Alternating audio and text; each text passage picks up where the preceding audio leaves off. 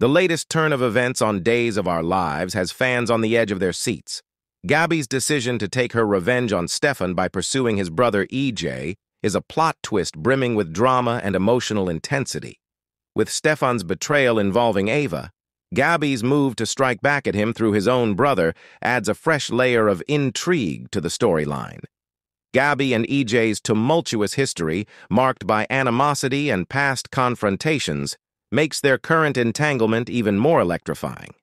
Their relationship, filled with both conflict and chemistry, seems to mirror the intense dynamics of Gabi and Stefan's past, showcasing a soap opera classic using personal vendettas to drive the drama.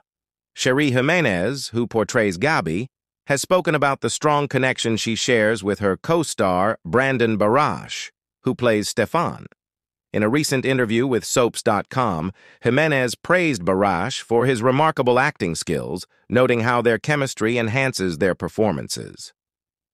It's really nice because I feel like I've known Brandon forever, Jimenez shared.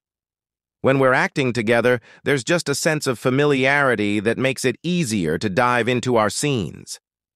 This deep professional rapport contributes significantly to the compelling on-screen interactions between Gabi and Stefan. With Gabi's betrayal now in the spotlight, it's clear that the stakes are higher than ever.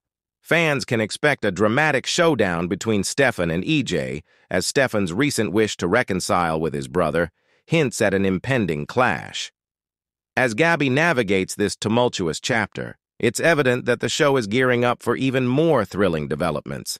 With intense emotions and high drama at play, viewers are sure to stay captivated by the unfolding storylines and the powerful performances of Jimenez and Barash.